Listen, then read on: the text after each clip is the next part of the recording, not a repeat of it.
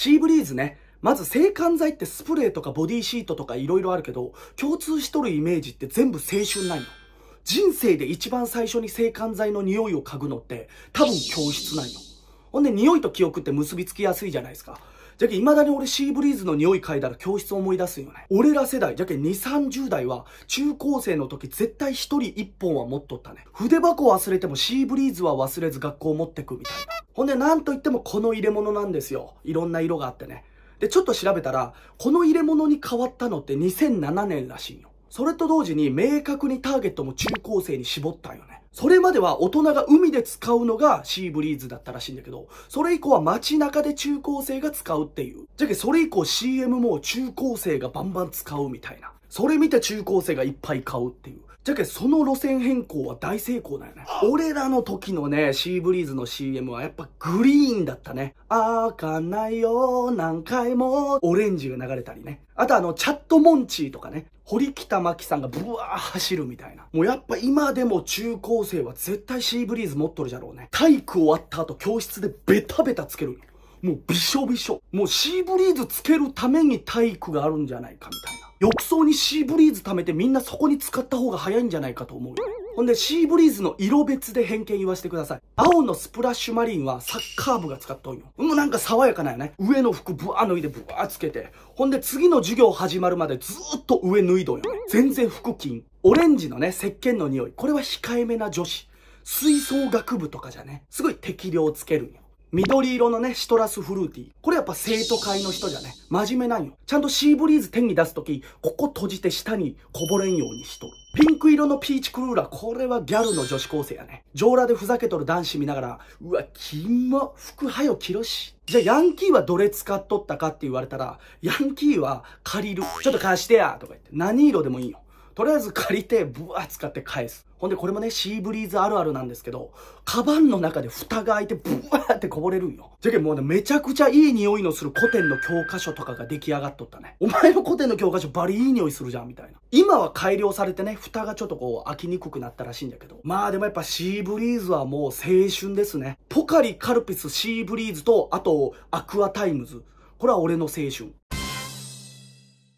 ギャッツビーアイスデオドラントスプレーね。これひんやりするやつね。プシューってやったらもうここ凍るかと思うよね。これやっぱ真夏にサッカー部とか野球部が部室でプシューって吹きかける。たまにパンツの中にフォーとかいうお調子者がおったりしてね。これ痛い痛いってなっとるよ。これね、あの、近くで吹き付けすぎたら痛いんよね。20センチは離さんとね。ほんで、ブワー吹きつけた後はエナメルのバッグに入れて持って帰る。たまに部室に誰のかわからんこのスプレーがあってね、みんな勝手にブワー使うんよ。ほんな先輩が部室入ってきて、あれ俺のスプレー知らんとか言って。ほんでみんな、あ、よ、ちょ、ちょ、あ、わかんないっすね。ギャッツビープレミアムタイプね。これあの塗るタイプのやつなんですよ。ここボールになっとってブワーって液が出てくるんよ。これあんま学生は使ってないよね。てか使うところ見ん。なんかスプレーとかね、なんかシーブリーズとかはいいけど、塗るタイプってみんなの前で使うのちょっと恥ずかしいんだ。てか使うとしても、隠れて使うか家で使うか。あんま教室でね、こう塗る人はおらんかったね。あれなんでなんじゃろうね。まあ、なんかスプレーとかシーブリーズよりガチすぎるんかもしれんね。まあでもその分効き目はめちゃくちゃありそうやけどね。AG ね。これはやっぱね、大人が使っとるね。ストレス臭とかね、加齢臭もブロックしてくれるけんサラリーマンが朝ブワー振ってスーツ着ていくみたいな。ほんで、デオドラントスプレーデラックスは女性が使ったりするよ。ヒアルロン酸も含まれとるけん保湿もできるんかいっていうね。やっぱ AG といえば CM よね。おばあさんが脇をって書いてグーっつってね、丸い札をあげるんよ。あれ相当おせっかいなおばあさんよね。どこの誰が人の脇を嗅いで判定したいんっていうね。もうちょっとあのおばあさん脇の匂いを求めとるやろ。だいたい AG のスプレーはね、ドラッグストアで店頭で安く売られとんよ。じゃか思わず買ってしまうんよ。もう俺、カゴにノールックで入れるもんね。84デオドラントスプレーね。まあ、これも人気なんよ。大体やっぱこれも大人が使うね。大体休日に野球とかスポーツやっとる人が使う。野球してね、みんなで車で帰る前にエチケットとしてブワー吹きつける。でもなんかこのスプレーってね、使い切った後捨てるのめんどくさいの。次の燃えないゴミの日に出そうと思ったんじゃけど忘れて、じゃあ次っつってずっと玄関に置いとる。ほんであとこのスプレーあのドラッグストアにテスター置いとるじゃないですか。誰でもこう使っていいやつ、こうちょっとね、匂い確かめてこれ買おうかなみたいな。たまにあれガチで吹きつけとる人おるよね。え、この人この夏ここのテスターで乗り切ろうとしてないかみたいな。8x4パウダースプレーね。ちょっとこうパッケージも可愛くてね。これ大体女子が使う。ダンスとかやっとる女子はね。 one、two、one、two でプシュプシュって吹きかけて。で、また one、two、one、two、プシュプシュみたいな。あと、ここひらひらの服着とる人が使っとるね。木のペンダントとかしとる人は大体これ使っとるね。アックスね。これ俺が高校生の時めちゃくちゃ流行ったんですよ。CM が印象的なよね。上裸のムキムキの男性がブワーアックス吹きかけるんよ。そんな行くみたいなね。ほんで女の人が素敵ってなるみたいな、そういう CM があったんですけど。じゃけこれモテたい人が使うっていうイメージをね。まあ、多分そういうコンセプトでアックスも出しとったと思うんだけど。じゃやっぱね、チャラめの人がこれ使っとったよ。でも確かにいい香りなんよ。これは確かに色気が出るなって香り。ただね、俺これ使っとった時期もあったけどね。確かにモテたようなことはないような気がせんでもないね。メンズビオレの薬用ボディシャワーね。これ汗かいた肌にプワーシャワーをかけるんよ。まあそれか服の上からでもかけたりするけどね。こういう系最近ちょっと増えてきたけど斬新よね。俺が中高生の時はなかったもん。まあでも大体やっぱ金持ちが使っとるよね。もう金に糸目はつけん言うてブワー吹きかける。たまに外仕事の休憩とかでね、これいいやろって吹きかけてくれる人おるよね。ありがとうございますって言うんだけど、後々考えたら、あれ俺臭いんかなみたいな。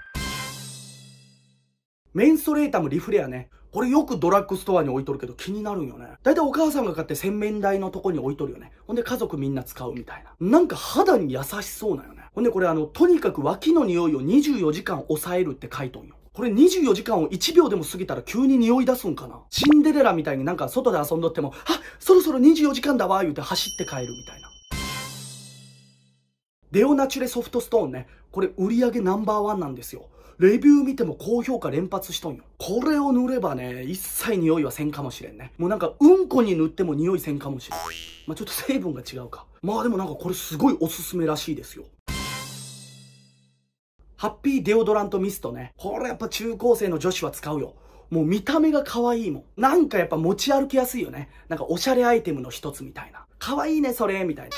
あとはどう可愛く吹きつけるかっていうね。プシュみたいな。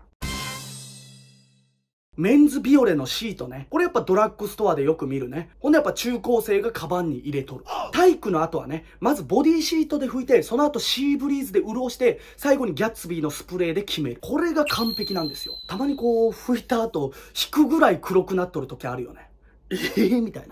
特にここと、ここ。嘘だろっていう。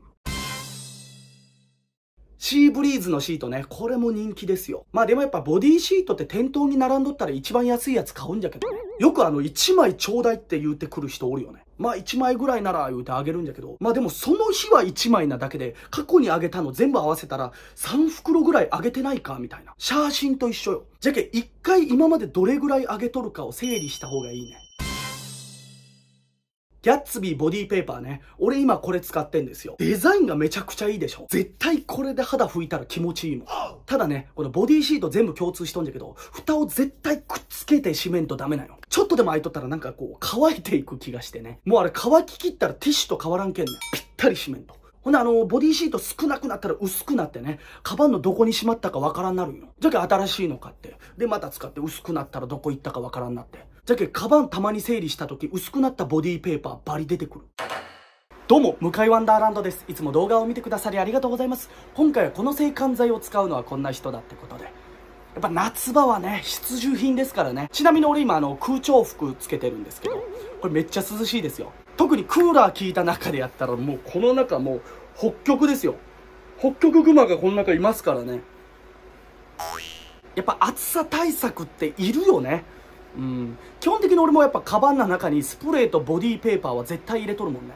シーブリーズはなんか大人になって使わんなったね。まあでもね、シーブリーズドラッグストアで見かけるけど、未だにあの形が変わらなくて安心する。ちょっと色とかはね、変わっとんじゃけど。よかったら皆さんのシーブリーズエピソードも聞かせてください。Twitter、インスタのリンクも概要欄に貼ってますんで、よかったらフォローの方お願いします。チャンネル登録、高評価、ベルマーク通知よろしくお願いします。以上、向井ワンダーランドでした。ありがとうございました。